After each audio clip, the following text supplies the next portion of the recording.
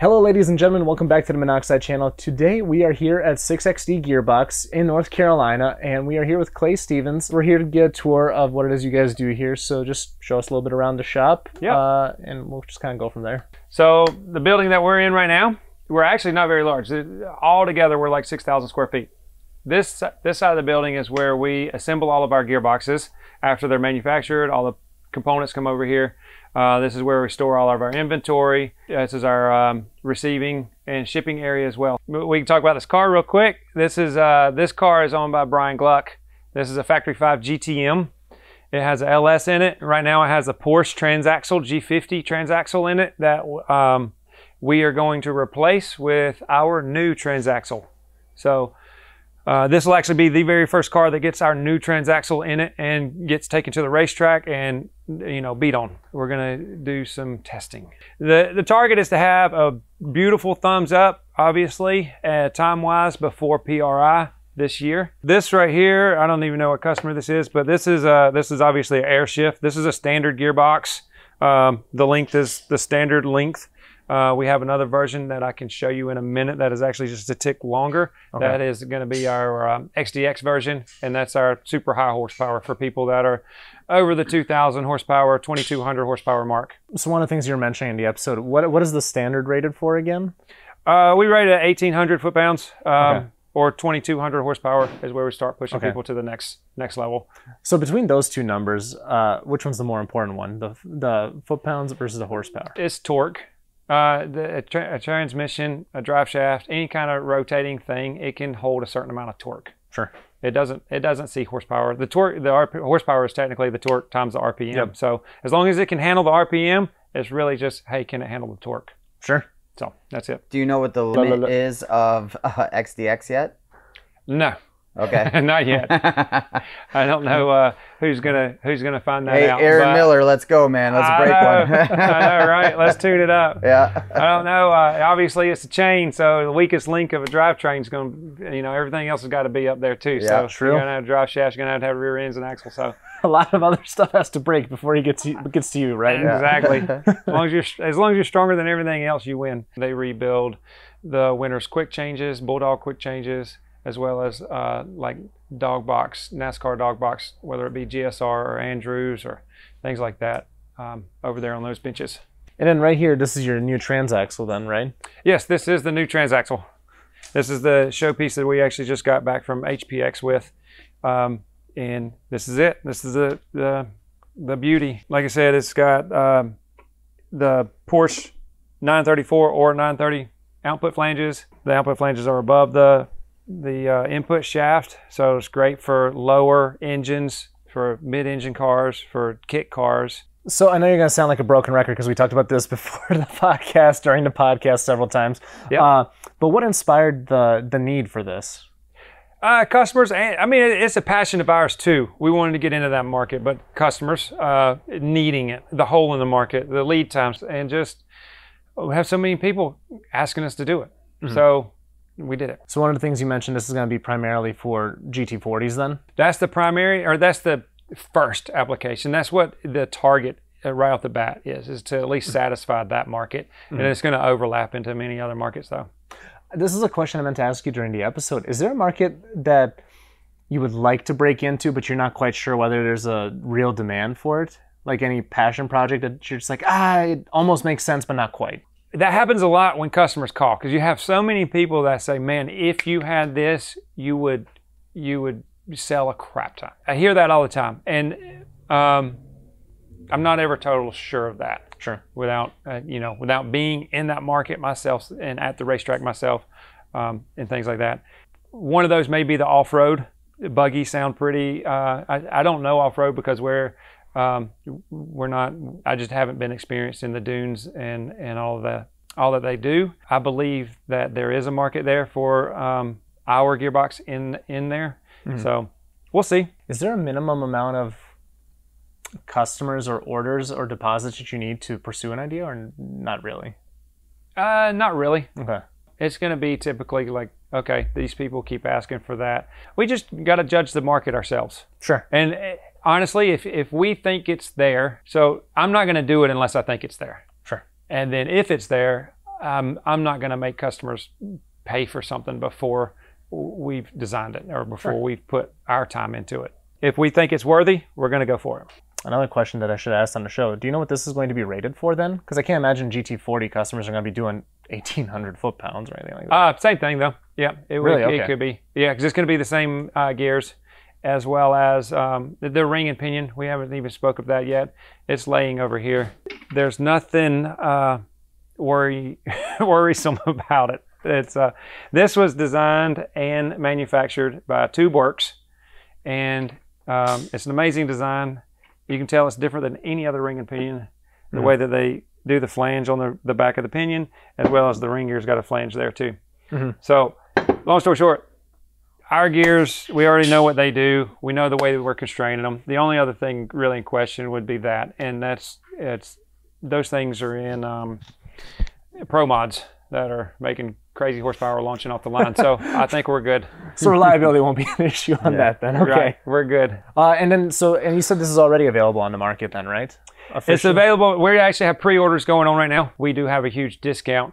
Uh, check out our Instagram. Um, there's Sure. several posts on the information about that discount. We're going to have our first batch run, and and then um, obviously if there's anything kind of fine tuning that needs to happen, we're going to do that. Anybody that needs one quickly, they probably need to get on that first batch run because then it, you know it might be a little bit of lead time for the next one Sure.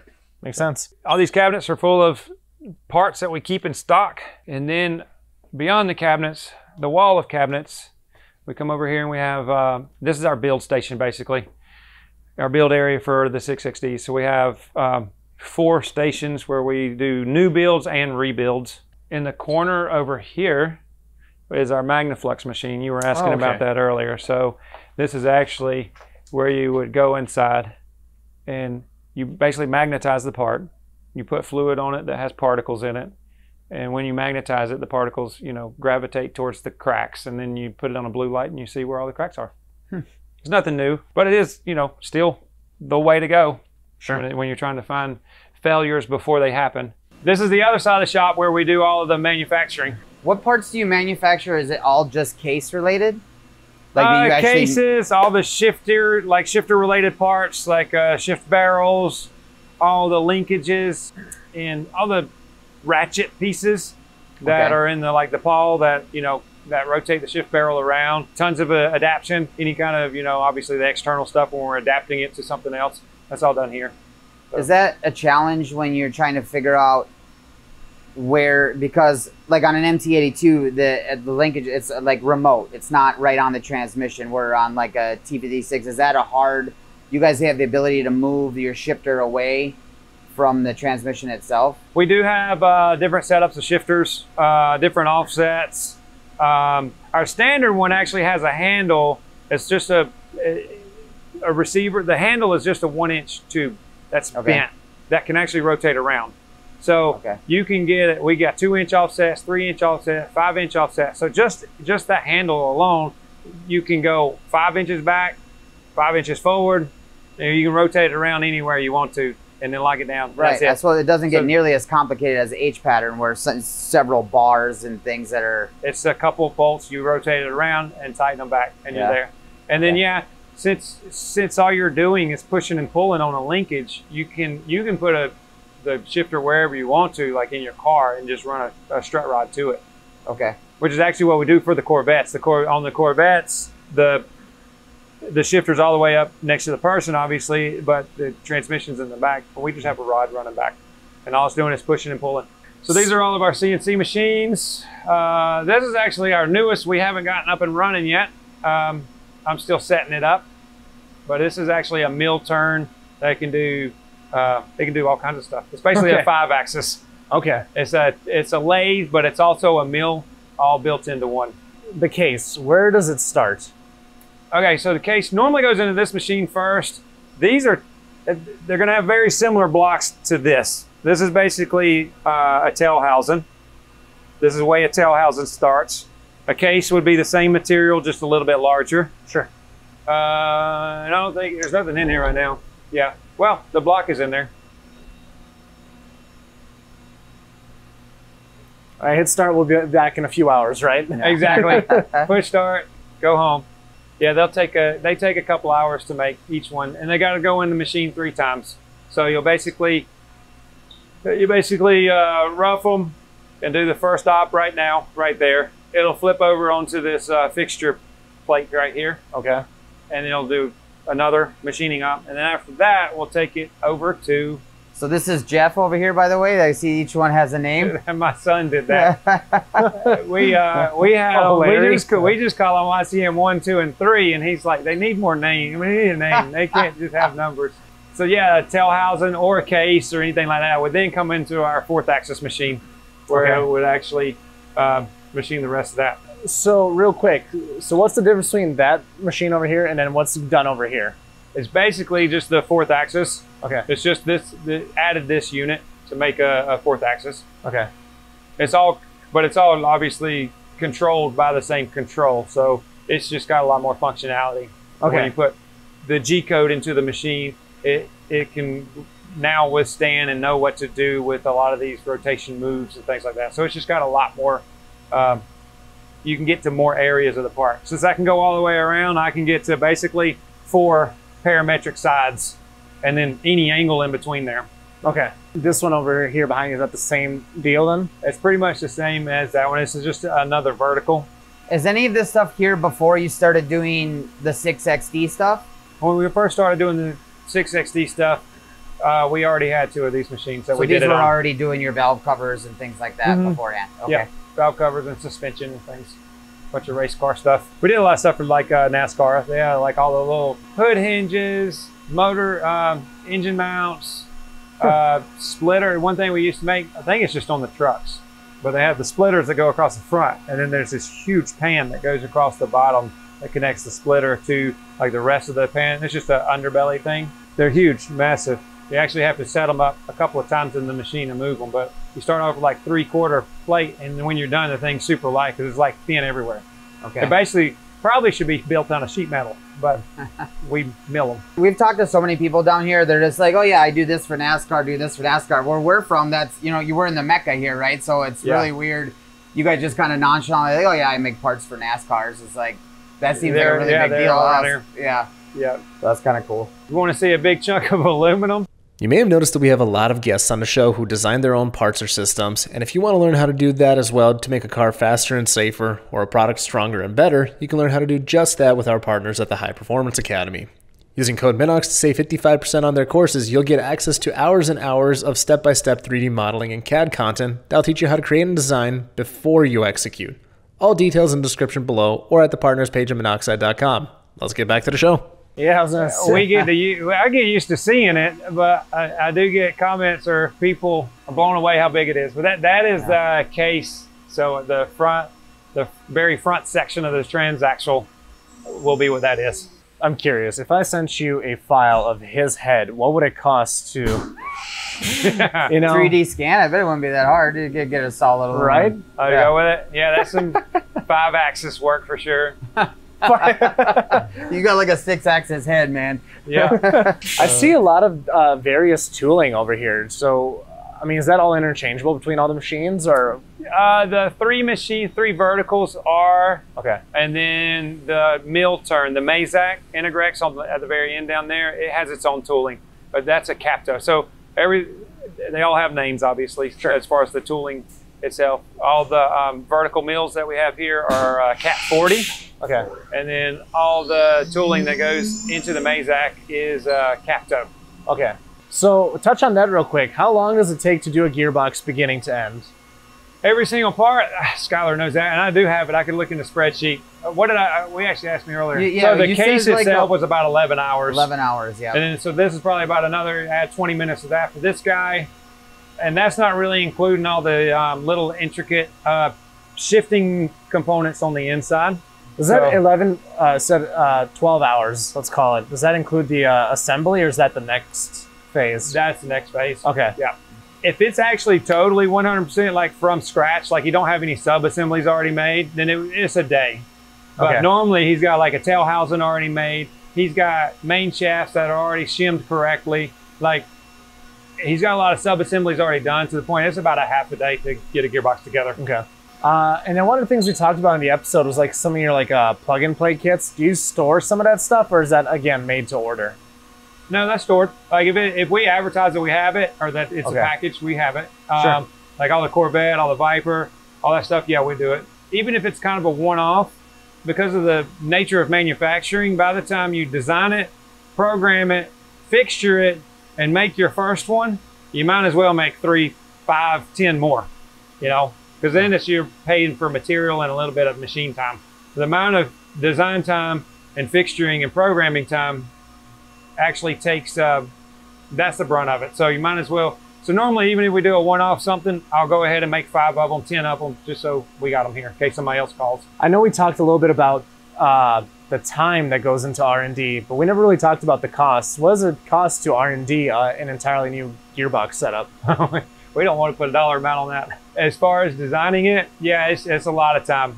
It's uh, it's a lot of time, and yeah, if uh, if we were honest with ourselves, we would probably get upset with the dollar amount that Sure. takes. So yeah, that's just that's part of just um, hey, let's invest time into this and let's do it. And you know, when we're done, that's what we got. Are we talking hundreds of hours, thousands of hours? Thousands. Yeah. Yeah. Does that have several iterations? I, I can't imagine things are perfect from the first iteration of a CAD model, right? So starting with our first gearbox that we ever did, um, that same exact gearbox could still be could still be good. We made the only iterations that we actually started making were to lighten it up, and then the we made the breather larger. Sure. It used to be like a dash six, now it's a dash eight because a larger. If you have a breather hose going up and you get if you get some oil in the line and then you build up pressure behind it, it's going to spit the oil out. Unless if you have a large enough line to let it drain back Okay. then it works way better. So uh, we made that change. Uh, bearing pocket changes. We haven't made many revisions Sure. from the original. That's awesome. which is pretty cool. Yeah. If they wanted to get a sequential transmission, uh, what makes models series do you support? Uh, as far as just actual uh, applications, Sure. So we have all the Corvettes from C5, C6, and C7. We got basically mechan. I call it a mechanical plug and play package, and it includes drive shaft all the way basically to your hubs. Uh, C7 even includes a, uh, a rear sway bar uh, because where the quick change is, it gets in the way of the factory one. Oh, okay. So we have custom sway bars for that, which actually gives you quite a, bit- uh, a bit of an upgrade because it's an adjustable link one. So obviously, we talked about Vipers a lot, the Gen the Gen 5 Vipers. We've got our standard versions for those as well as our XDX versions for the guys that are like just crazy horsepower. We got a Camaro package. A lot of people do ask about four wheel drive. We have a, a setup with SCS gearbox. They make uh, transfer cases. A lot of their stuff's in off road. A lot of their stuff's in monster trucks, things like that. So Oh, okay. They have a, a version, a part number that mates to our gearbox for us. Um, so we have that solution. We got a Supra uh, Mark IV? package. Yep. Okay. Where the shifter's in the OEM location, the drive shaft's the right length, things like that. And we even got a mount for it already made. So that's what I would call, like I said, a mechanical plug and play package. I think that's getting uh, The Did this of thing it. just switch heads, by the way? the tools. yeah. Yeah. Yeah. It's got like 30. That was crazy. It It's got 30 came up, tools in there. freaking slapped one out, slapped another one in in like a second. It Yeah. was crazy. Yeah, it's Sorry, got 30 got tools in there. It only has 30. We wish we had more. yeah. We got some parts where if we had all the setups on this in the same machine, hmm then uh, we would probably need about 40 tools. So we, Wow. we actually split it up between two machines. All right. Uh, to go off of his quick question real quick, what's your number one seller? Our biggest seller, just looking at the product itself, is just the standard 6XD that goes Okay. behind. Uh, it was a Muncie bolt patterns because there's tons of there's tons of bell housings for that pattern. You can go to Fo- just about any Ford, any Chevy, uh, Chrysler. It's a front engine, transmissions in the front. So that standard gearbox satisfies a lot of people. On that note, where can people find you guys? Our website is 6xdgearbox.com. Our email is 6xdgearbox at gmail.com. And our Instagram is also 6xdgearbox as well as Facebook. Well, perfect. Thanks for tuning in, guys. Uh, Clay, thanks for making this happen. Yep. And we'll see y'all next time.